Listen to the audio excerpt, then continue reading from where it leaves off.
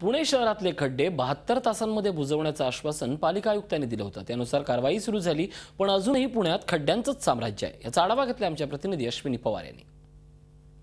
सततच्या पडणाऱ्या पावसामुळे पुण्याच्या सर्वच रस्त्यांवरती खड्डे पडलेले आहेत आणि ते रस्ते लवकरात लवकर बुजवण्याचं आश्वासन पालिकेने दिलं होतं. पण आपण माझ्या मागे बघू शकता अजूनही बरेचसे रस्त्यांवरचे खड्डे जे आहेत ते बुजवले गेलेले नाही आहेत.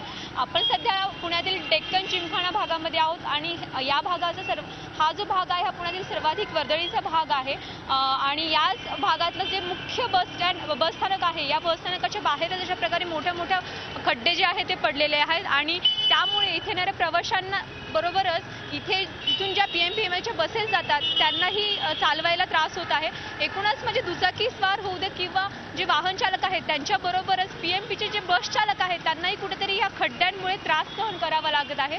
काका मला सांगा तुम्ही इथून रोज प्रवास करता कशा प्रकारे तुम्हाला या खड्ड्यांचा त्रास सहन करावा लागतो? खड्ड्यांचा त्रास म्हणजे एवढा होतो की त्या खड्ड्यांमुळे ट्रॅफिक एवढं जाम होतं लोकांना पाणी खड्ड्यातनं पाणी साचल्यामुळं खड्डा समजत नाही त्यामुळे ॲक्सिडेंट होण्याची दाट शक्यता असते. आणि महानगरपालिका ह्या पावसाळ्यात खड्डे बुजवायचं काम करते पण ते तात्पुरतं होतं.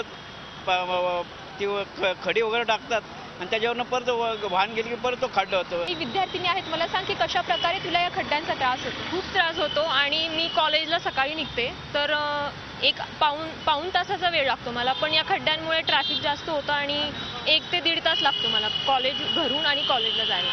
असा खूप त्रास होतो आणि गर्दी परत त्या खड्ड्यां असं वाटतं की रस्त्यांवरून नाही तर खड्ड्यांमध्येच रस्ते आहेत. खूप त्रास होतो एकूणच पावसामुळे रस्त्यांची इतकी दुर्दशा झाली आहे की पावसा पुण्यातील रस्त्यांमध्ये खड्डे आहेत की खड्ड्यांमध्ये रस्ते आहेत असा प्रश्न पुणेकरांना पडलेला आहे. आणि सध्या प्रशासन जी रस्त्यांची डागडुजी करत आहे ती तात्पुरती मलमपट्टी असल्याचा आरोप पुणेकर करत आहेत.